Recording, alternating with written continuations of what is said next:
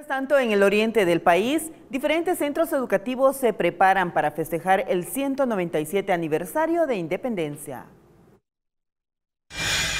Uno de ellos es el Instituto Nacional Ernesto Flores, quien desde hace unos meses atrás ha estado preparando con los alumnos diferentes actividades que serán parte de la conmemoración de los 197 años de independencia patria.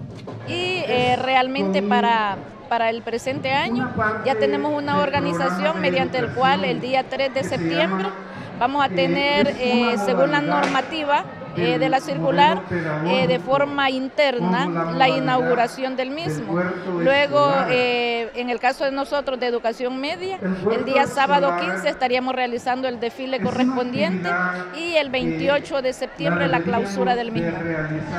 Sofía Orellana, asesora pedagógica, menciona cómo el MINET se está preparando para recibir esta fecha importante para la nación salvadoreña. A través de la organización, cada municipio se organiza empezando con el recibimiento de la antorcha, que la zona norte la recibe el 6 de septiembre.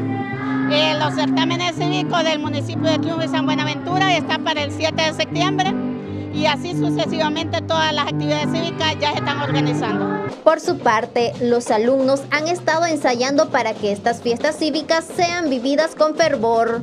Pues principalmente los que tienen destinados, ¿verdad? Los que son abanderados, los que son de la banda, los que, las cachiporras y las demás que participan, pues ya empezamos a ensayar con todo eso porque para estar preparados para el 15, ¿verdad?